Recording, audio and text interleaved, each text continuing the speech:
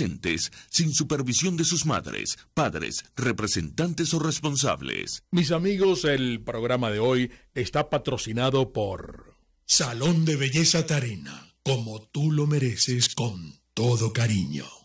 Distasi Motors, tu concesionario Honda en los palos grandes. Produzca seguridad en tu empresa de los pies a la cabeza. Pastelería del Corso, la pastelería italiana por tradición y excelencia. Estación de servicio Terrazas del Club Hípico, calidad y servicio de primera clase. En un país frágil que busca un nuevo destino, José Domingo Blanco, Mingo, colmará tus mañanas de información, opinión y debate. En este espacio, nuevas voces, nuevas opiniones, nuevos actores serán los nuevos protagonistas. RCR presenta por todos los medios con Mingo. Un millón de gracias, Argenis, queridos amigos. Un muy feliz día desde Caracas, Venezuela. Y en nombre de Dios Todopoderoso, estamos arrancando la transmisión de hoy. La audición de hoy es la que corresponde al martes 28. Hoy se va febrero, amigos. Martes 28 de febrero del año 2023. 23 hay quienes hacen su balance del mes. Nosotros estamos aquí por lo pronto con Vila. Ah, qué rico. Hoy, hoy están tostando. Hoy están en el proceso de tostado, como nos indicó Carolina. Hablamos con ella el sábado, yo les estaba contando. Vila Café y si usted lo quiere también disfrutar como nosotros lo hacemos todos los días, la llaman de parte nuestra 0412 254 2672. Bueno, la gente fascinada con este detalle de nuestros amigos del vivero Las Terrazas. Ustedes, qué elegante, qué, qué delicado, qué presencia tiene, ¿verdad? Además del aroma, porque las mismas flores que componen el arreglo desprenden un, perfume que es eh, realmente exquisito. Acá en nuestro estudio nos sentimos muy felices, orgullosos que siempre está este detalle de nuestros amigos del vivero. Las terrazas en su Instagram los buscan como vivero de terrazas. Buenos días de parte de Jaime Nestares en la dirección general de la estación. Catherine Manzano en la gerencia de producción de la emisora, Erika Mendoza Tobar en la producción ejecutiva de nuestro programa, Catherine Manzano junto a Génesis Rodríguez en la producción de nuestro espacio y Julio Pinto en el máster. Amigos, esto se llama Por todos los medios. Junto a Radio Caracas, creando el hábito de ver y escuchar radio por internet, mi cuenta en Twitter es arroba mingo-1 y transmitimos, ustedes saben que siempre lo hacemos, están conectados, Mingo Blanco TV en Instagram. Y ya se suscribieron a nuestro canal de YouTube. Allí tienen toda la programación permanentemente de Radio Caracas Radio. Y nos encuentran, ¿saben cómo hacerlo? RCR 750. Suscríbanse. Pero además, en todas las plataformas nos consiguen a través ese concepto. RCR 750 únicamente en TuneIn por Radio Caracas Radio. Mingo, ¿y qué te dijo tu vecina hoy? Mingo, Mingo. Chico, voy a hacerte una pregunta tipo encuestadora. Escucha, escucha. Si las elecciones primarias fueran este domingo, sí, sí, sí, el 5 de marzo, ¿participarías? Ah, ¿viste? Tengo que meterte en el grupo de los que no saben o responde o no participa. ¿Mm? Yo creo, Mingo, querido, aquí entre nos, que ese no sabe no responde es un no rotundo a las primarias. Y no me importa que me tilden de apolítica o de antipolítica. Es que, ¿quién, quién no después de tanto fracaso? ¿Ah? Raro sería que me vieras militando y haciéndole campaña a alguno de estos aspirantes a candidato único de la oposición. Raro sería que me vieras disfrazada con los colores de algún partido que dice ser de oposición. Raro sería que me vieras arengando en las calles invitando a participar. No tienen mi confianza, Mingo. Los que están aspirando a ese puesto me defraudaron. Todos, todos, toditos, porque siguen siendo los mismos que han aspirado a ser candidatos siempre. Así que yo también, Mingo, yo también, si Meganálisis me preguntara por quién votaría este domingo, si fueran las elecciones, pues o hago mutis o le señalo así con este dedito la casilla de no sabe, no responde, no sabe, no responde. ¿Capito? ¿Mm? Es más, chico, a mí me cuesta creer que el numerito de esa categoría disminuya y la participación aumente si el CNE decide quedarse al margen de esas primarias. El que responde de esa manera ahorita, que no sabe, no cambia de parecer cerca del 22 de octubre.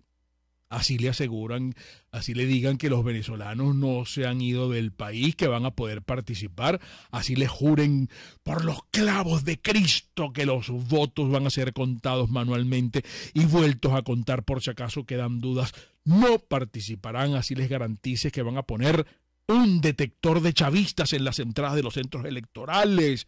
El que dice ahorita que no sabe, conociendo cómo se conocen las opciones que hay, no participa. Y punto. Además, voy a darles un consejo a los señores de la comisión de primarias. Dejen de estar pensando en los centros de votación del CNE. Te lo digo en serio, los centros de votación de las primarias no pueden ser los del CNE, porque esos sitios están como empavados. Es más, Mingo, yo no sé si a ti te pasará, pero yo, con solo acercarme al lugar donde voto, me da un guayabo que no sé cómo explicártelo. Mira, la cantidad de veces que acudí a ese sitio emocionada, mi amor, y engañada, pensando, ahora sí vamos a lograrlo.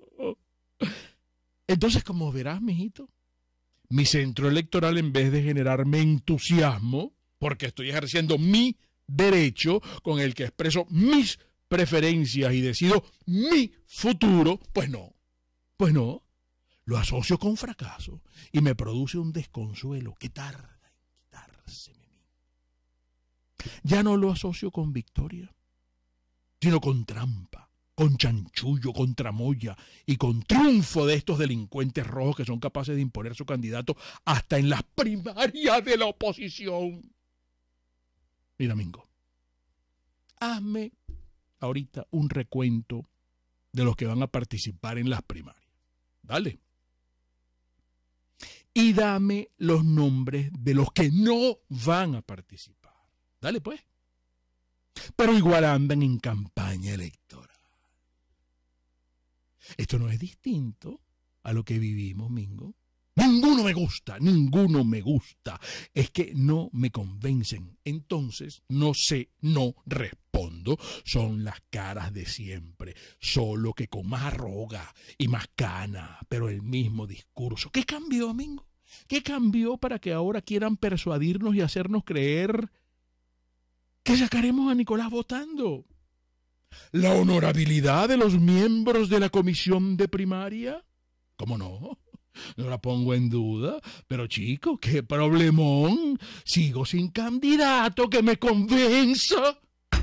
Todos, todos tocaron su techo y dudo mucho, Mingo, que en ocho meses cambiemos de opinión. Un outsider. Ten fe, mi amor. Ten fe, Mingo. Estamos en cuaresma. Quién sabe si surge el Mesías, el Salvador de la patria. No sé así es que es que. Cambio y fuera. está circulando. Un gran servicio de embotellamiento de agua, amigos, lo tenemos en Galerías Prados del Este y se llama Aqua Prados, con Q. En su Instagram está todo. Permiso. Aqua-Prados, tan limpia y pura como un cristal. Arrancamos ya este otro segmento del programa que se llama, como ustedes saben, está circulando con la señorita Erika. Mujer, ¿qué tal? Buenos días. Fíjate que yo te quiero hacer un comentario porque después del programa de ayer y en la noche me puse a leer y a leer y a leer cosas del Salvador y de Bukele, como me estaba diciendo mi de vecino. Bukele, ajá. Sí, de Bukele. Y entonces veo que hay un gran contraste entre la mano dura que está poniendo el individuo allá con relación a Lampa, Ujú. que han salido muchos y de allí me dediqué a la lectura anoche. Eso no es mana- mano dura, eso es violación de derechos humanos Claro. y era un poco lo que Claro. recogía mi vecina ayer, pero lo contrasté, mujer, con la gran cantidad de noticias que se nos agolpan en el menú nuestro cotidiano de información en Venezuela con relación a Lampa. Es verdad. Está, pero haciendo de las suyas. Sí. ¿Cómo estás, El- mujer? Buenos hola. días. bueno, con ese abreboca. Eh, sí, No, Mingo, porque es sí, para sí, sí, reflexionar, es- mujer. Mira. Oye, es estupenda tu yo llevo reflexión. esta reflexión al mundo entero, inclusive. Y a no solamente, además que planteas lo del debate que se está dando en cuanto al tratamiento de Nayib Bukele a, estos, a estos pandilleros, que bueno, que mucho se ha dicho, que y lo comentábamos ayer, que también eh, como él hizo una modificación para poder detener a desde los 12 años, una cosa así, y ha tenido que liberar a algunos, sobre todo por estas características que comentábamos de los tatuajes que llevan esos pandilleros y bueno, la gente dice, bueno, hay gente que se tatúa no precisamente porque pertenezca al, a los maras salvatrucha, pero, pero bueno, ese es un debate que se está dando y aquí estamos viendo eso que dices, las informaciones de suceso están otra vez copando, copando los titulares. Yo me imagino que darás referencia al seguimiento de la noticia de lo que está ocurriendo en Maracaibo. Sí, vi trabajos de eso. Hay muchísimos trabajos relacionados porque incluso hay una nota de un dueño de una tapicería en el Zulia. Sí, señorita. Que, él también sufrió un atentado el 25 de febrero. Le lanzaron una granada que no, deno- no detonó. Se murió, y se murió ayer de un Se infarto. Murió ayer. Se murió ayer. Eh, bueno, a lo mejor el señor mm, ya tendría alguna dolencia, pero lo cierto es que el dueño de la empresa Tapicería La Líder, Kelvin Piña, murió ayer, 27 de febrero, tres días después de que miembros de una banda dedicada a la extorsión, y bueno, y todas esas cosas, ¿no? yo no digo extorsión, estos son terroristas, atacaron con una granada su establecimiento ubicado en Maracaibo. Em, según parece, y los tienen identificados a quienes, a quienes atacaron este establecimiento, esta tapicería, que es el modus operandi de, de estos extorsionadores para pedir vacunas. O sea, la gente que le está costando ganarse sus ingresos, tiene que pagarles para que les garanticen la seguridad. Lo terrible es que cuando lees las informaciones de sucesos, Mingo, te das cuenta que quienes están involucrados son los funcionarios que deberían Oye, tú comentaste eso ayer, lo del sí. cuerpo, de- de- el, el director del cuerpo de bomberos. Sí, pero Cara. es que, es que también por aquí hay otro, otro de los implicados, también está metido, cuando lees todos los casos que han ocurrido, otro de los implicados también tiene un cargo de estos en los que se supondría debería, debería eh, proteger a la, a, la, a la sociedad y a, los- Pero- y a los ciudadanos. Pero no es el Gigi, ¿no? no, estamos hablando, yo estoy hablando del, del señor de la tapicería que lo están reseñando, que se murió de un infarto Por ayer. eso, sí, claro. Pero y sus atacantes fueron identificados, ya vi que los detuvieron. Se llaman Ronald Tier, de Kelvin 29 Piña, años. fue el que murió. Exacto, ese fue el que murió. Alias El Loco, Jonathan Núñez, de 40 años, alias Cascón, y Gerardo Peña, de 31, quien está solicitado por el juzgado, el juzgado octavo de control. Según la policía, los tres detenidos pertenecen a un grupo de delincuencia organizada liderado por Kevin Finol y Carlos Morales Mayo, si ya los tienen identificados. No terminan de, bueno, aunque Tarek Williams ha ayer. Claro, dijo- pero yo estaba leyendo en la patilla que dicen que alias el Gigi planeó los atentados Exacto. ocurridos en Maracaibo Desde. Estados Unidos. Sí, y eso lo dijo este prócer de la patria, Tarek William Saab. Comentó, comentó que lo, que los atentados él Desde Estados confirmó, Unidos. sí. O sea que Wow, claro, acuérdate es que una red entonces internacional. Sí, pero sabes que aprovechando que comentas eso, Mingo, tú sabes que la colega Rizquez- Tren de Aragua, mujer. Sí, el tren de Aragua, hombre. De las ella, suyas. ella publica un libro sobre el tren de Aragua y quienes están recibiendo las amenazas que el tren de Aragua, yo, eh, como dice tu vecino, es una franquicia que se está expandiendo, Sí, sí, que está en Aquí, Chile, que está en Colombia, que está... aquí que tengo está- el nombre del libro, ya va. Eh, bueno, eh, los familiares están recibiendo amenazas y entonces están, bueno, pidiendo que intervengan de manera de frenar este tipo de situación. Entonces ahí es donde vuelves a caer, Mingo, en la pregunta que nos hacemos siempre. Eh, los, de, la- los defensores de los derechos humanos que abogan por que, bueno, el debido proceso de los, de los delincuentes, que no haya detenciones arbitrarias. Y, y esta gente coge vuelo. Sí. El crimen organizado coge vuelo, aterroriza, mantienen la sectores sometidos bajo tensión. Bueno, lo que vamos a hablar con María Alejandra Aristiquieta ahora más tarde. Putin, el derecho Sí. internacional, ¿cómo queda? Se está cumpliendo un año de la guerra, ¿no? Sí. Entonces, ¿dónde quedan eh, to- to- todo, devastado, cierto, los civiles muertos? ¿Dónde está el balance que hace el derecho internacional en cuanto a eso? Se quedan Para conversarlo con exhortos. ella, ¿no? Que, que es una estudiosa. Se quedan exhortos y en, y en sanciones y en, y en peticiones a que ya mm, de- detenga y deponga las No da armas. respuesta. pero la- no la- hay respuesta. Mira, aquí estábamos buscando, son ocho familiares de Rizquez eh, los que han sido amenazados después de la publicación de su libro. Rona. Su Rona Rizquez, su familia, el- ella publica el libro del tren de Aragua. Rona con doble N. Sí, y esta denuncia la hace el Instituto de Prensa y Sociedad Venezolana y la organización Espacio Público, quienes han comentado las amenazas de las que han sido objeto los familiares de la periodista de investigación Rona Rizquez. Esto en cuanto a la delincuencia de la que hablaba Mingo. Pero Pero otra nota importante es que la crisis humanitaria de Venezuela van a analizarla, yo veo que una vez más en el Consejo de Derechos Humanos de la ONU, pero sin la participación del régimen de Maduro, dice, mujer. pero tú sabes quién llegó a Ginebra ayer y comenzó a hacerse las fotos. Cuéntalo. El porque- canciller de Maduro. Exactamente. y se sostuvo un encuentro con el alto comisionado de la ONU de los Derechos Humanos, el señor, eh, ¿cómo es que se llama él? Eh, Volker Turk. Sí. Ajá, se reunieron, se hizo la foto. Iván Gil, por supuesto, no, que es el canciller de, de Nicolás Maduro, no tardó tiempo en compartir esa esa foto en sus redes sociales e incluso mm, mostró cuando llegó a Ginebra. Listos en Sí, Ginebra para discutir listo. en el Consejo de Derechos Humanos de la ONU. Entonces, parte de lo que no estoy entendiendo, si Venezuela no puede participar en ese consejo, como él ya está anunciando que, que van a- bueno, que están listos, dijo presente para participar eh, en esa en ese periodo de sesiones del Consejo de Derechos Humanos de las Naciones de las Naciones Unidas. Y él decía en su tuit, llegamos a Ginebra en nombre del presidente Nicolás Maduro y el pueblo de Venezuela para presentar en el 52 periodo de sesiones del Consejo de Derechos Humanos de las Naciones Unidas la verdad de un país que ha intentado ser doblegado con sanciones criminales para atentar su buen vivir. Qué hábiles son, vale. Sí, ¿Ah? sí.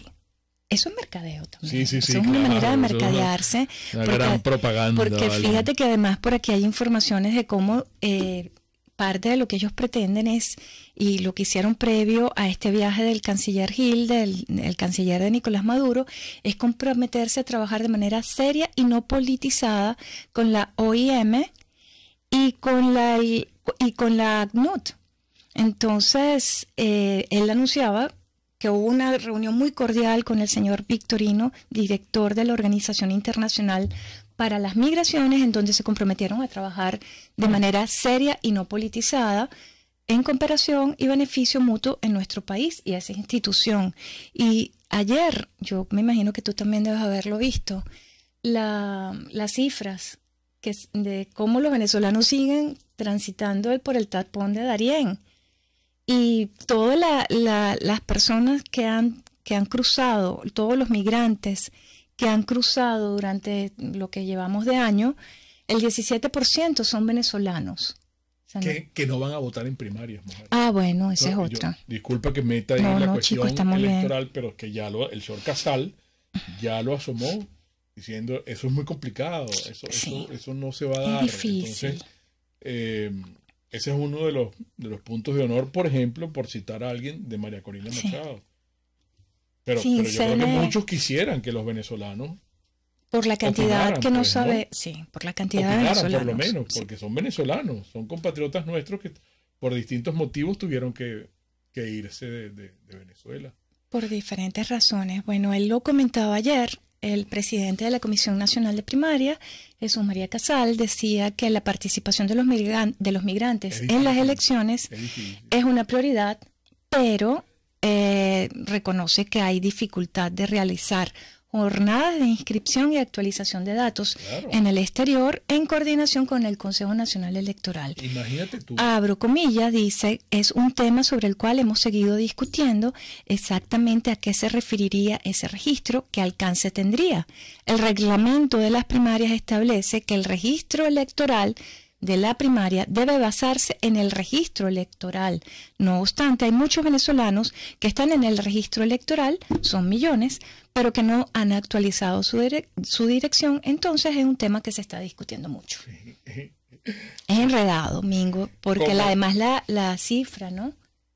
no, de venezolanos que se han ido contrastándola con los venezolanos que están inscritos en el registro electoral, todos los muchachos que se fueron de 18 años probablemente no se hayan inscrito. Lo que no es complicado, mujer, y parece muy fácil, es el contrabando de oro entre Venezuela e Irán. ¿Te acuerdas? Lo comentamos ayer. Es un trabajo que está circulando por allí.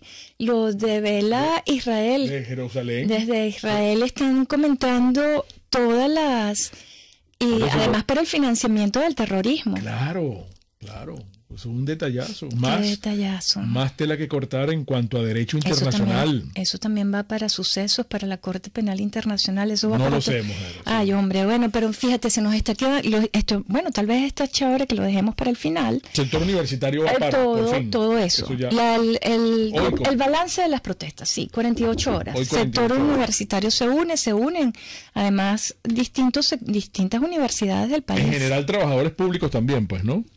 Ayer, fueron, sí, ellos convocaron, ellos convocaron, pero se une la FAPUP, se unen los, los profesores universitarios, 48 horas. Ayer, yo creo que como balance, oye, Mingo, yo creo que no estuvo mal. Eh, hubo protestas, sí, hubo protestas un promedio de 29 movilizaciones en todo el país.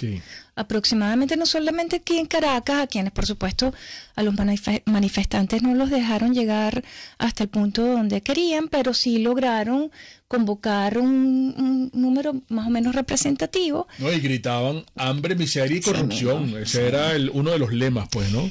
Hay un, hay un trabajo publicado en el Pitazo de una enfermera que dice que ella imaginaba y, y, al final todos nos identificamos con sus palabras de cómo ella imaginaba ella su vejez, ¿no? Una vejez tranquila, con su jubilación, pero no, es que ellos insisten en que un sueldo que, que va desde los 6 dólares hasta los 46 dólares no alcanza y, viola, viola mm. todos los, convenios, ¿no? Y, les, les, es una violación hasta de derechos humanos, como decían ellos.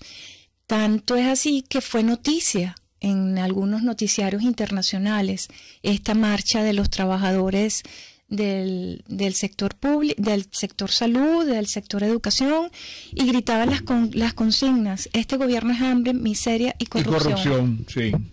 Y se volvió a mover el dólar, mujer. No lo he lunes, Déjame ver. bueno, imagino que después del descanso de la octavita que se unió con toda la festividad de carnaval, entonces ayer creo que el paralelo de nuevo en ¿Se disparó? 25. El, algo. El oficial está en 24.36, abre hoy en 24.36. Esa, esa tema con el dólar, Mingo, yo creo que es parte de lo que también termina de, de, sacar a los profesores y a los trabajadores públicos y al sector salud y a todos a protestar. El paralelo, bueno, imagínate 25. Claro, yo me di la tarea ayer de manera informal por mi cuenta de tocarle la puerta a varios comercios y me dijeron, la, ¿qué está pasando domingo? Las ventas están por el piso, la gente, ¿dónde está la gente? ¿Qué pasó aquí? Este, fui a varios lugares, pues, ¿no? E, incluso algunos mercaditos de cielo abierto, visité dos y estaban un poco... Disminuidos. Muy disminuidos. y, conversando, pues, con, con, con la gente, me decían, oye, ¿qué estará pasando? ¿Qué sabe usted? que Entonces, sí. Yo creo que es domingo, por supuesto. Lo vinculaba con una noticia que sale de Consecomercio, que las ventas bajaron un 40% con respecto al mismo periodo, pero del año pasado, del 2022. Es bastante. Estamos hablando de 40%. Yo tenía por acá también un dato en cuanto al consumo.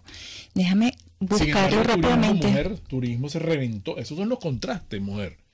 Hay lugares que dicen que fueron 100% de ocupación en el balance que han hecho del, de, de, de, bueno, pero vamos a ver, vamos a ver ese inventario de, de, hoteles abiertos. Todas las expectativas fueron cumplidas. Todas. Todas las Todos los hoteles están abiertos. Todas hasta las... 100% de ocupación. este es nuestro país de contraste que es difícil de entender que hay que sentarlo en un diván porque por un lado tenemos esta ocupación, pero por el otro lado, fíjate que hay un registro, dice Fede Agro, que el consumo de harina de precocida de maíz se derrumbó de 38 a 30 kilos per cápita.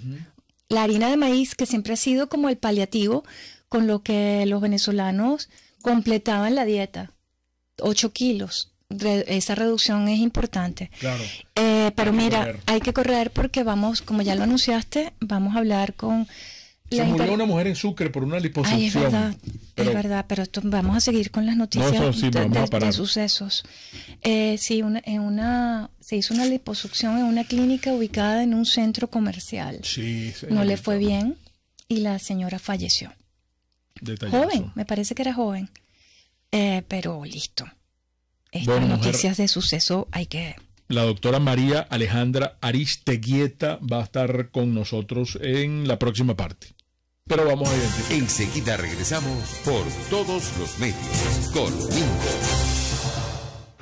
Nos gusta mucho recomendarles el servicio integral, precios, condiciones y servicio. Eso es Distasi Motors.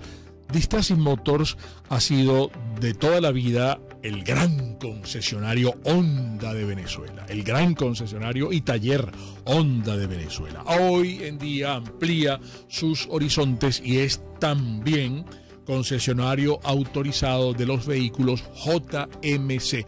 He tenido muy buenos comentarios de estos vehículos. De hecho, yo les mostraba hace poco y los invitaba a que fueran a, al Instagram de Distasi Motors para que vieran una camioneta pick-up que tiene un, rendimiento importante para el trabajo duro, para la brega, para, para, la brega cotidiana. Pues, Esa está en exhibición en Distasi Motors y ni hablar de la colección de motocicletas 2023 tanto para paseo como también para la brega y el trabajo. Qué bueno es contar con Distasi Motors. Si ustedes tienen algo que conversar con ellos, ya saben el Instagram que es Distasi Motors, pero les doy un teléfono siempre.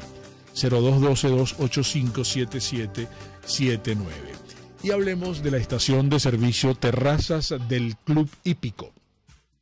El fin de semana, en la autopista de Prados del Este, hubo unos cuantos impactos feos, amigos.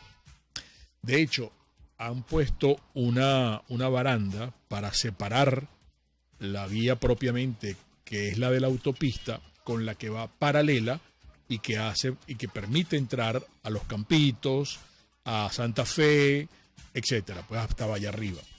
Entonces ahí pusieron una baranda horripilante. Pusieron una baranda feísima. Bueno, todos los fines de semana tienen que estar reparándola por los choques, por los golpes, por los impactos. Porque yo creo que esa autopista de Prados del Este la agarran como si fuera un circuito de Fórmula 1, ¿vale? Y bueno, es, es, de verdad preocupante, amigos, la forma como estamos manejando nosotros los venezolanos y esa preocupación está en la filosofía de la estación de servicio de terrazas del Club Hípico, que quiere que nosotros seamos conductores responsables. Y ese es un gran mensaje. Estación de servicio terrazas del Club Hípico, mucho más que gasolina. Mire usted que está frente a su empresa o usted que trabaja en esa empresa. Un accidente, un accidente ocurre en un abrir y cerrar de ojos. Mucho más si usted trabaja donde hay un calor radiante, donde hay químicos, donde hay cloro, donde hay amoníaco, donde hay, bueno, agentes químicos en general, vapores, donde hay partículas tóxicas, donde hay altos niveles de, de ruido también, por ejemplo, eh, altas temperaturas, abrasión, soldaduras, salpicaduras químicas, virutas, rayos X. Todo esto, amigos, el personal hay que cuidarlo, ustedes tienen que estar protegidos en los lugares de trabajo. Para eso está Produzca de toda la vida, más de 42 años, ofreciéndonos no solamente los implementos certificados en el mundo entero, que debemos eh, eh, tener a la hora de, hacer, de ejercer nuestro oficio, sino la asesoría gratuita que tiene Produzca para ustedes, el catálogo www.produzca.com, en su Instagram arroba produzca.ve. Eso es seguridad en tu empresa de los pies a la cabeza. Seguimos en nuestras redes sociales. En Twitter, arroba RCR750, la radio que se ve. Un lugar de encuentro para el talento venezolano, dentro y fuera de nuestro país. Continuamos por todos los medios con Mingo. Otro nivel. Qué bueno que está con nosotros nuestra amiga, la doctora María Alejandra Arestequieta. María Alejandra, un gran abrazo para ti, mucha salud para ti, para todos los tuyos, de parte del equipo del programa y de Radio Caracas. Bienvenida, ¿cómo te va? Hola, Mingo. Bien, bien, gracias. Hola, Erika. Gracias por la invitación. De verdad que encantada de estar aquí con ustedes hoy. Hola María Alejandra. Hola Erika. Sí, es que yo no, yo no tengo retorno aquí de, del audio de María. Ahora sí te escucho. ¿Me escuchas? No, debe, Ser, algo que no tengo. Mingo está resolviendo un. Sí. Fíjate, em, hay muchas cosas para conversar contigo en el marco del año que se ha cumplido recién de, de la guerra del señor Putin y de Ucrania. Eh, además de los trabajos recientes de tus investigaciones, ayer Carlos Sánchez Berzaín me, pasó un tuit mm. que lo voy a usar para introducir esta conversación contigo. Él se preguntaba en su tuit, ¿está ganando China mm. la guerra global por la invasión de Rusia a Ucrania? Luego de un año de guerra, militarmente, son notables tanto el fracaso de Rusia como el desempeño de Ucrania, pero los efectos tienden a mostrar que quien está ganando es China. Y a mí me parece interesantísimo vincularlo con lo que tú escribiste recientemente de la civilización del espectáculo. Mm. Precisamente a propósito de este año de la invasión de Putin a Ucrania y su guerra contra Occidente. ¿Qué balance puedes tú compartir con nuestro auditorio que involucre esto que te estaba diciendo de China, que me parece eh, que, conocer tu punto de vista es muy oportuno en, estos momentos, María Alejandra?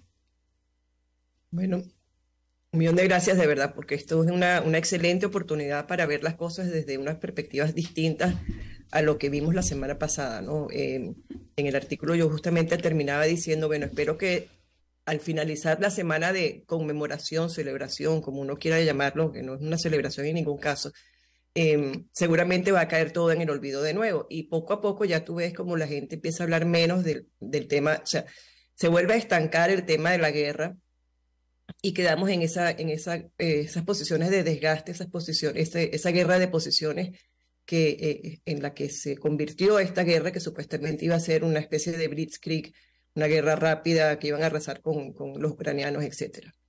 Em, y sí, efectivamente, yo también este, leí, eh, Sánchez Berzaín también me mandó su, su tweet y me encantó porque yo tengo mucho rato diciendo que China, eh, los avances de China nadie termina de verlos y que en definitiva em, China es eh, la gran ganadora en todo este cambio de orden internacional, porque eh, venimos de, estamos acostumbrados todavía, a pesar de que, de que ya no, no, vivimos en, ese, en, en, en esa forma de ver el mundo, Estamos acostumbrados a aquella época bipolar entre los rusos y los americanos, en esa época en la que habían espías por todos lados, una, una, eh, un muro de Berlín, una, una separación de una cortina de hierro, etc.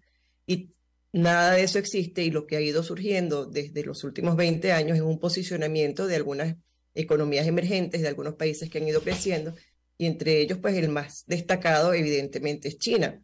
China hoy en día es la segunda potencia mundial está todavía lejos de Estados Unidos, bastante lejos de Estados Unidos, pero está, tiene una ambición expansionista enorme y ha ido metiéndose, se metió en toda África, se metió en toda América Latina. Yo escribí una investigación que hice en el 2021 para demostrar lo, lo, importante que había, se había convertido China, la importancia que tiene China eh, para las exportaciones de, de América Latina, de, de, de Argentina, de, Brasil, de, todos estos países. Entonces, el expansionismo chino y esa, esa, esa eh, eh, esa interdependencia que ha creado con países más débiles, eh, más débiles que China, la hace tener mucha fuerza eh, y, controlar a muchos actores internacionales.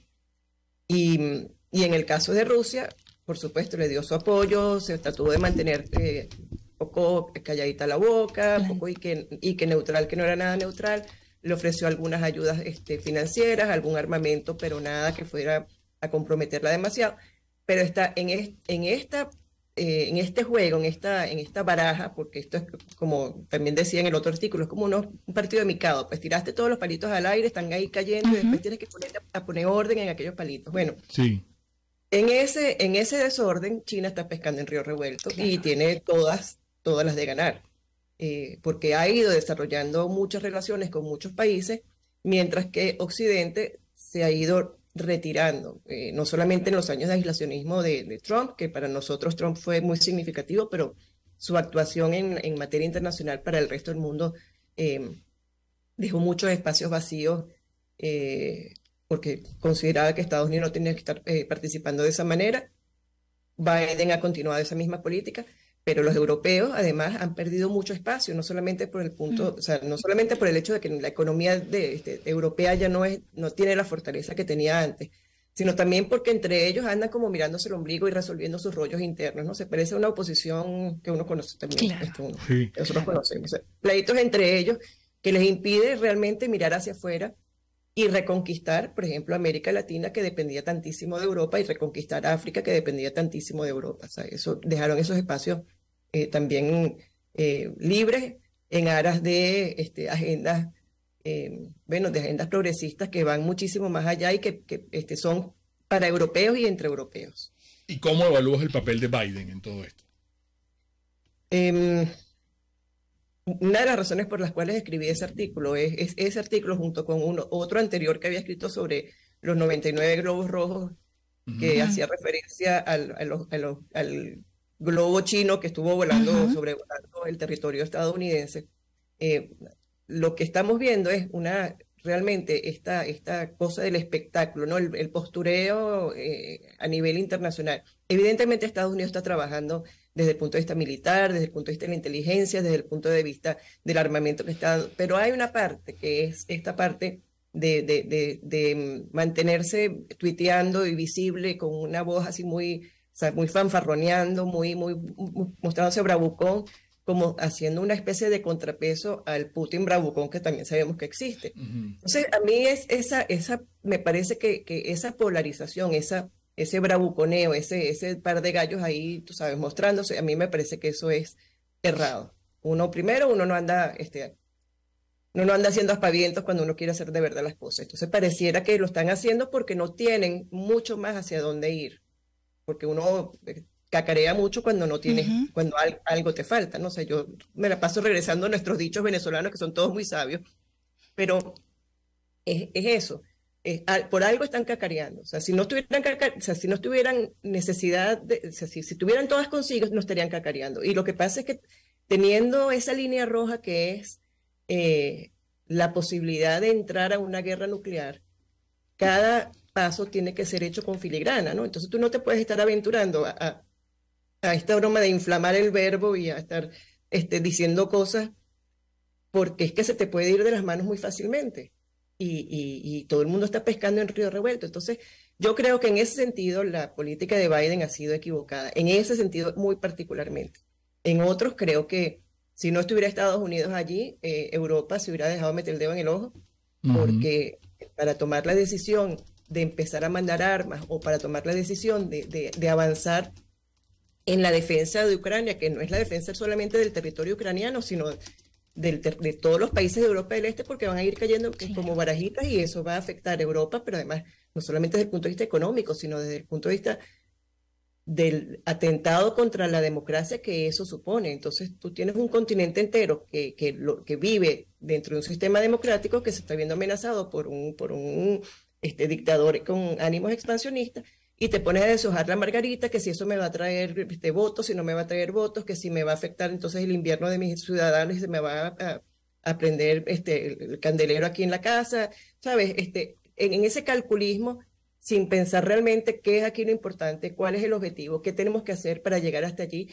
Y, y, y, bueno, o sea, avanzar en ese sentido explicando, la gente no es bruta, la gente puede entender y pueden también sacrificarse, se están sacrificando los ucranianos porque no podemos sacrificarnos los europeos, ¿entiendes? Un poco esa, e, e, eso. Yo creo que Estados Unidos eh, ha, ha, debido, ha, ha, tenido que sustituir a Europa, entonces es como una cadena, pues, este, si no estuviera Estados Unidos ahí, tendríamos a los rusos merendando en París. Sí. Vamos a hacer algo, vamos a, hacer un pequeño paréntesis. Estamos hablando con la doctora María Alejandra Aristeguieta, internacionalista. Ayer, bueno, siempre conversamos con Maybor Petit y, y, Maybor em, nos, envió un trabajo de ella, eh, por qué Putin nunca será enjuiciado en La Haya, aunque esos crímenes pueden no quedar impunes. Vamos a tratar este tema también con María Alejandra en, en, la próxima parte, porque, bueno, ¿qué es lo que ocurre con el derecho internacional? Como lo estábamos hablando Erika y yo en, en el Está Circulando de, de hace poco, pero será en breve porque vamos a identificar. Para formar la nueva opinión pública venezolana, por todos los medios, conmigo. Pastelería del Corso. Cuando decimos que es la pastelería italiana por tradición y excelencia, es que, caramba, qué mejor referencia que yo les he contado en otras oportunidades.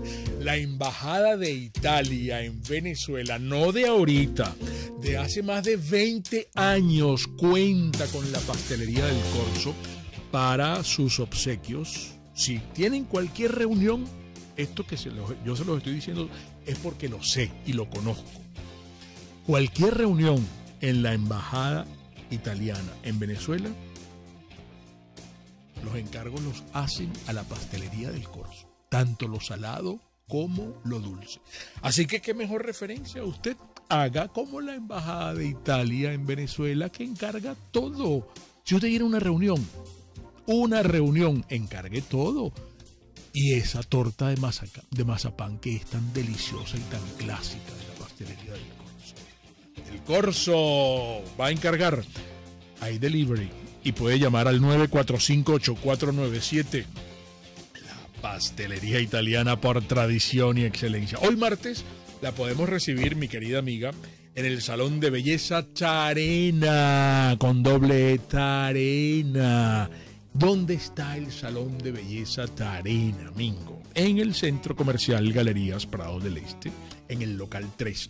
No tiene pérdida, eso es la planta alta. Al final del pasillo, a usted, ahí está ese oasis donde usted es probable que entre triste, pero va a salir alegre, con un nuevo look. Atrévase a ese nuevo look. Allí hay unas expertas que están comandadas por Teresa es una maestra estilista y cuenta con un equipo de profesionales peluqueras y manicuristas que la van a atender a usted, pero de alfombra roja va a quedar usted, de alfombra roja, porque siempre logra el look Pretty Woman, el look de la mujer bonita. Venga a que la consientan con todo cariño en el Salón de Belleza Charina.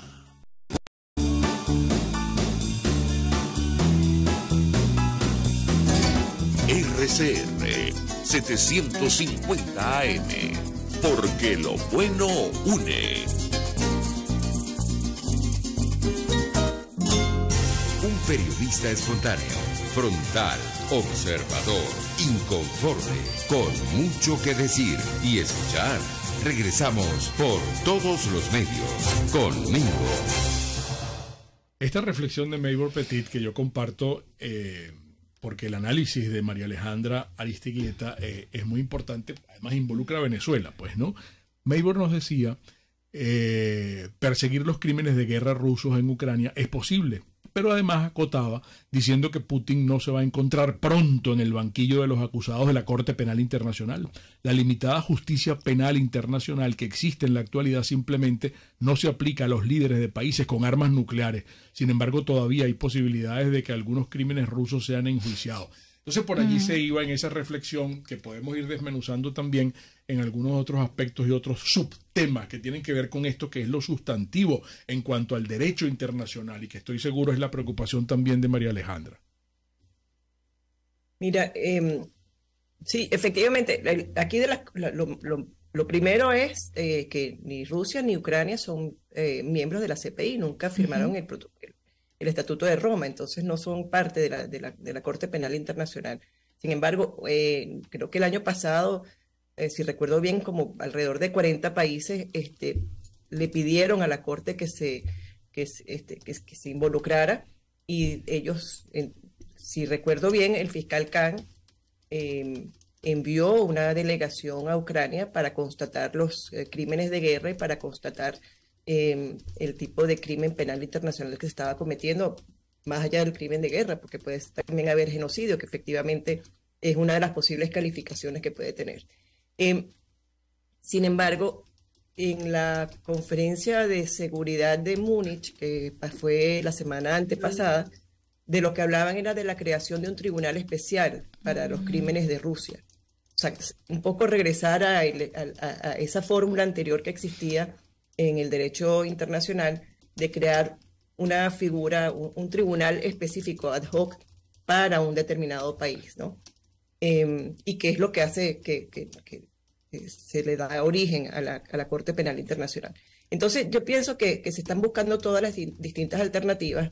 Eh, no significa que el material que esté levantando en este momento eh, el, el, fiscal o la oficina del fiscal no vaya a ser de utilidad, todo lo contrario, también la Oficina del Alto Comisionado para los Derechos Humanos ha levantado unos informes. El día 20 de marzo va a ser el, se va a presentar el primer informe sobre, sobre el tema de Ucrania eh, de esta comisión que fue a que fue a, Kiev y que se desarrolló, tú sabes, alrededor de todo, este, de todo el territorio ucraniano eh, y lo van a presentar al, al Consejo, pues a los miembros del Consejo. Entonces, sí, yo sí pienso que se va a avanzar. Acuérdate que también es una cadena de mando. La cadena de mando va involucrando eh, desde el que ejecutó hasta el quien dio la orden. Claro. Evidentemente que la orden final la dio Putin y, y bueno, iba a ser mucho más difícil que tú puedas agarrar a un Putin que que tú puedas agarrar a unos de, de ¿sabes? De, de, mandos medios o de mandos bajos o de, o de mandos este, no tan altos, ¿no? Claro, pero hay diferencia, en el derecho internacional se diferencia cuando se habla de crímenes de guerra que cuando se habla de crímenes eh, de humanidad, crímenes contra la humanidad. Sí, sí. sí, sí.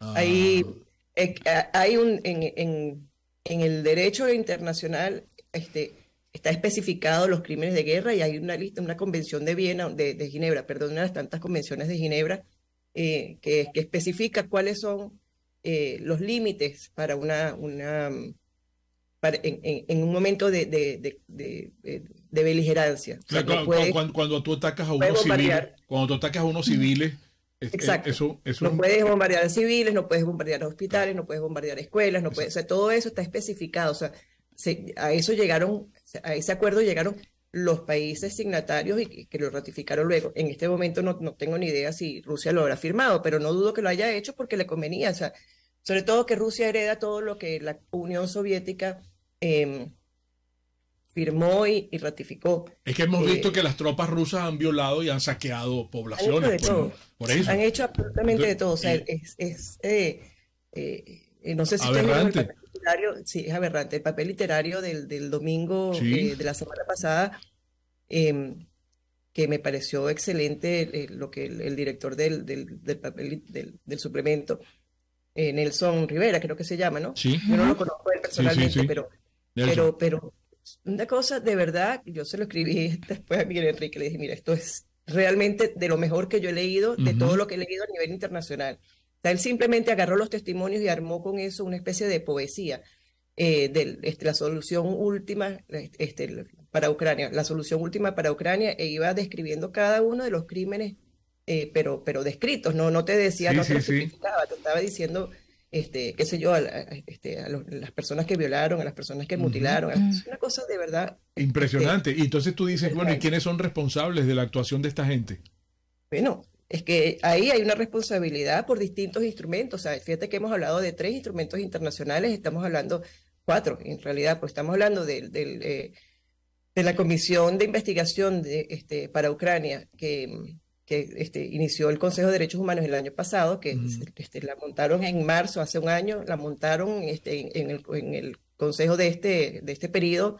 eh, y, y enseguida estuvieron, se fueron para, para Kiev, o sea, se destinaron los fondos inmediatamente. O sea, por primera vez en la vida uno ve a la ONU super expedita, donde todo salió rapidito y los tipos sí. estaban ya. Cuando Mm. quieren, pueden.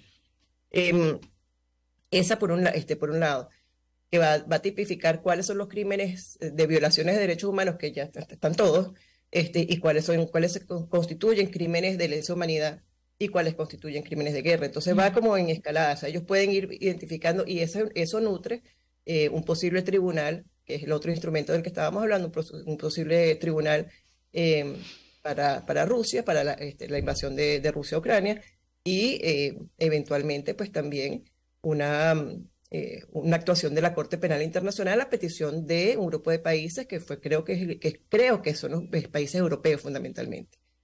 Si recuerdo bien, sé yo que sé que Suiza estaba ahí metida, pero em, me imagino que son los países de la Unión Europea, pero eran 40 países, entonces que también le pueden pedir ex oficio a la Corte que actúe. Entonces ahí tenemos esa, ahora que eso signifique que, que, que Putin pasado mañana lo van a agarrar preso, primero es muy, muy, tienes que despojar al, al presidente de su inmunidad para que lo puedas, em, para que lo puedas llevar a, a la Corte, para que lo puedas juzgar, y eso no va a pasar. Y segundo, si pasara, eh, bueno, todos sabemos, porque lo hemos visto, la experiencia nos, la- nos lo está enseñando, este, esos son procesos sumamente lentos, Sí. o sea, Sí. pueden tardar, pueden tardar tranquilamente 10, 20 años, entonces, este, la- ahí la, ju- la- la justicia no, es termi- no, es- no termina siendo realmente oportuna, aunque por supuesto el reo está, mientras tanto, en custodia, en custodia allá en La Haya, vestido de anaranjado, como dice Tamara Zungo con, con frecuencia. Sí. Por aquí Marbella Terán te pregunta si esos países que no participan directamente en la guerra, pero cooperan y prestan asesoría y venden armas y venden productos, en algún momento también podrían ser sancionados. Y también plantea, eh, te pregunta si este crecimiento de China, esta expansión de China, de qué manera la puede frenar Occidente y beneficiaría o beneficiaría al- a los países de Occidentes. Bueno, déjame empezar por lo último, porque aparte de que este, es lo más fácil, es algo sobre lo que yo he estado describiendo eh, desde hace bastante tiempo. Em, no, Occidente no puede frenar a China. China va a seguir creciendo y, va, a, va avanzar. Se puede enlentecer su proceso de crecimiento o de, capacidad e, e influencia. Pero ya el mundo no va a ser eh, Occidente versus eh, mundo comunista, o sea, no es mundo libre versus mundo comunista, ahora es distintos actores. Entre estos distintos actores se va a crear un equilibrio. Antes, antes de la Primera Guerra Mundial, eso se llamaba el equilibrio de poder. Este, ahorita estamos yendo hacia un nuevo equilibrio de poder, eh, lo que lo han llamado multipolarismo, eh, ahora lo llaman fragmentación, no importa. El tema es que to- cada país tiene que buscar su posición. Entonces entra la India que es muy grande, que este, ahorita en este momento es la quinta economía a nivel mundial. Entonces, entra la India también como un jugador importante, entra Brasil como un jugador importante. Entonces tú tienes todos estos nuevos países que están, que antes no existían, o que eran colonias, o que eran países muy pobres, em, que forman ahora, eh, forman parte de este, de este, de, esta eh, de esta nueva realidad de actores que tienen influencia y capacidad. Entonces tienes Estados Unidos, tienes China, tienes Alemania, eh, que Alemania representa, digamos, este, están incluidos este, el resto de los países de la Unión Europea casi que por extensión, y entre todos ellos, Australia, Canadá, qué sé yo, entre todos ellos van a buscar un equilibrio, pero en ese equilibrio es como que no te pases de esta raya, pero es un equilibrio que, que, es muy dinámico, o sea, no es que, no es que vamos a estar eh, permanentemente mirándonos así como cada quien en su posición, no, eso se va a estar moviendo y algunas veces va a haber unos que, se, este, que tengan más poder, otras veces tendrán menos poder. Es un, es un equilibrio, una, como una balanza. Pues eso en inglés se llama balanza de poder. Em, eh, eso es lo que va a pasar. En cuanto a la otra pregunta, mira, no sé, no lo sé. Este, eso es una, tendría que ponerme a investigar que, cuál es la responsabilidad de los países que están eh, suministrando armas, porque aquí estarían todos suministrando armas, salvo Suiza, que no, que no puede suministrar armas a un país en guerra estarían todos los países eh, suministrando armas a, uno u otro campo, ¿no? Claro. Entonces, este, si, son, si es responsable China, eh, también sería responsable Alemania, también sería responsable eh, Inglaterra, o sea, Estados Unidos. Entonces, no sé cómo, cómo se va a manejar esa parte. Creo que, creo que en todo caso se, se, centra o se, se concentra en quienes están involucrados inmediatamente, que son los rusos, hasta donde tengo entendido. Pero, pero es una buena pregunta, este, muy válida, y me voy a poner a investigar sobre eso porque de verdad que me despertó la curiosidad. ¿Y tú, ¿Y tú qué percibes? Tú, tú comparte con nosotros de manera íntima cuánto, le queda a esta guerra, cuánto tiempo más puede durar esta guerra, que, que, no es nada más el petróleo y el trigo y, y, y, otros aspectos que tienen que ver con la economía mundial, pero en, en general, ¿qué crees tú? cuáles son los próximos capítulos, los próximos episodios a los que nos vamos a enfrentar ya que se ha cumplido un año. Todo este otro año que viene eh, va, a estar en, la misma situación. La guerra va a continuar. a esto es, ahora es cuando le queda. Ahora es cuando le queda. Esa es la palabra. Oh. Em, Siria lleva 12 años. Claro que Siria no es tan, como no es en Europa, pues no es tan importante, pero Siria eh, todo el mundo pensaba que, que iban a salir de, de, de, de Bashar al-Assad, a la, a, Bashar. En un abrir y cerrar de ojos, sí. Exacto. Y se trancó el juego y están espacios ocupados y entonces tú ves, tú ves el mapa de Siria, tienen espacios tomados, las distintas fuerzas que están allí en, en, en disputa. Eh, esto puede pasar de esa misma manera y yo creo que hacia eso están todos ya, eh, o sea, ya la, la, idea que se tiene es que se va hacia eso, hacia una contención de la guerra, tratar de contenerla en ese país nada más y no que, sea, no que vaya hacia Moldavia o hacia eh, Bielorrusia, que estaba leyendo hoy que, este, hay posibilidades que invada y, se anexe Bielorrusia. Eh, o Montenegro y los países este, ex, de, la ex Yugoslavia que también están muy preocupados porque este todo, o sea, todos los que estén al lado están preocupados, pues, ¿no? Em, entonces, para evitar que se expanda, probablemente se quede concentrado allí y se va a quedar concentrado porque no hay una superioridad de fuerzas de un lado o del otro, se va a quedar concentrado allí por mucho tiempo. El problema es que aquí no, hemos, no se ha vuelto a buscar intentos de paz a mí me cuesta mucho. ¿Cuáles serían, ¿cuáles serían esos intentos de paz? El intento de paz fue el, propuesto por el gobierno de China, ¿no? El, pasado viernes que Putin rechazó. Francia también ha propuesto, ¿no? Francia lo ha propuesto, lo propuso ayer oí Argentina también hablando de eso, eh, también lo propuso Hungría. Eh, algunos de los países que lo están proponiendo son países que son, uno, los, uno podría decir que son más prorrusos que pro-occidentales, ¿no? Que son más... No son neutrales, pues no son del todo neutrales, aunque están exigiendo a la Rusia que se retire y que, este, y que lo están reconociendo como el agresor, como por ejemplo Argentina, pero este, Alberto Fernández disimuló muy bien al principio y no quería condenar a, a, a la Unión, iba a decir a la Unión Soviética, a los rusos. Sí. Eh, quería, aquí lo que, lo que estamos viendo es que hay algunas voces, Hungría, por ejemplo, este, a pesar de que Orbán es un tipo elegido democráticamente, es un tipo que tiene muchas, muchas críticas por, por ser muy autoritario, ¿no? O sea, van unas derivas autoritarias que casi que rayan en, en una dictadura que no lo es, pero que este raya, ¿no? Eh, Polonia también juega un papel importante en el tablero. Exacto, pero entonces este, ellos están pidiendo que se, que, se abra un espacio para la paz, o sea, para las discusiones, para las negociaciones de paz, para la, para la mediación, para buscar un espacio. ¿Qué pasa con ese espacio? Que bueno, que puede terminar pasando como ha pasado, este, o sea, como, como sucede en, otros, en otras oportunidades, que salomónicamente dice, bueno, vamos a cortar el país, tú te quedas con ese pedazo y tú te callas y te la calas porque lo que queremos es paz. O sea, eso también puede pasar. Entonces, Hungría, eh, Hungría, Ucrania queda, eh, queda eh, dividida, cercenada, pierde esos territorios que han estado defendiendo del Donbass, ya perdió Crimea. Y bueno, y eso es una, una herida que lo que trae son unas consecuencias feroces al interior del país que pueden generar después una, una guerra civil y que es como que no, esa no es la solución. La solución es realmente eh, que, Rusia regrese a, su, a sus posiciones originales y, eh, y, que respete la soberanía y la independencia de Ucrania, como también la tiene que este, respetar de los demás países que antes fueron parte de su, de su zona de influencia. Claro, ya para terminar, eh, es aventurado decir que aquí cualquier chispa puede encender una tercera guerra mundial. ¿Es así estamos en una tercera guerra mundial, Mingo. No, esto no es que enciende, es que ya estamos en una tercera. Estamos.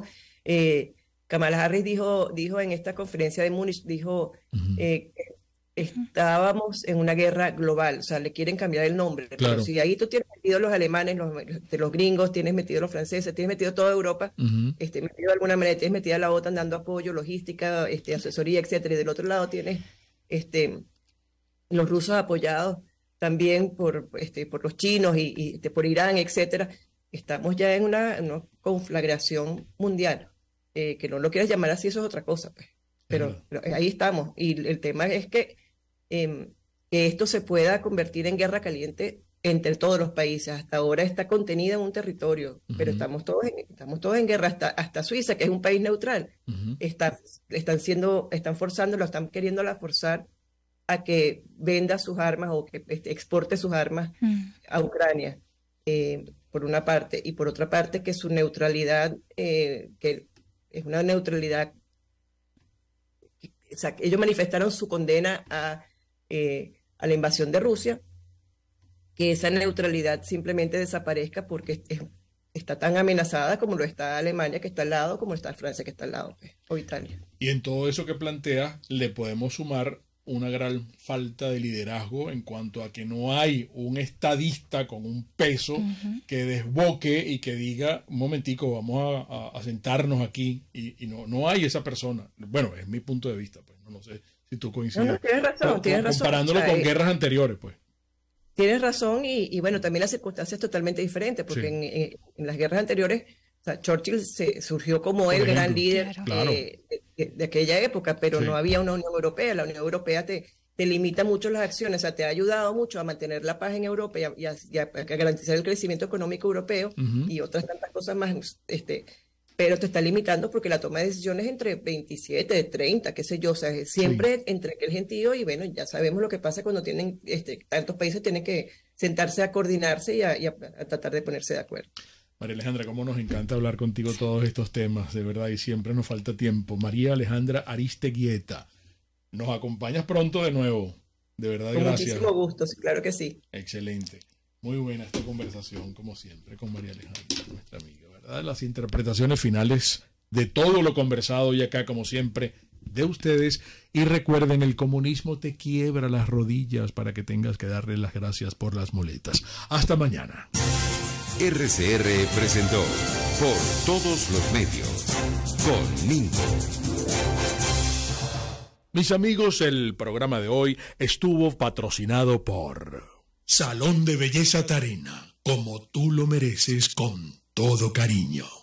Distasi Motors, tu concesionario Honda en los palos grandes. Produzca seguridad en tu empresa de los pies a la cabeza. Pastelería del Corso, la pastelería italiana por tradición y excelencia. Estación de servicio Terrazas del Club Hípico, calidad de servicio de primera clase. RCR 750 AM.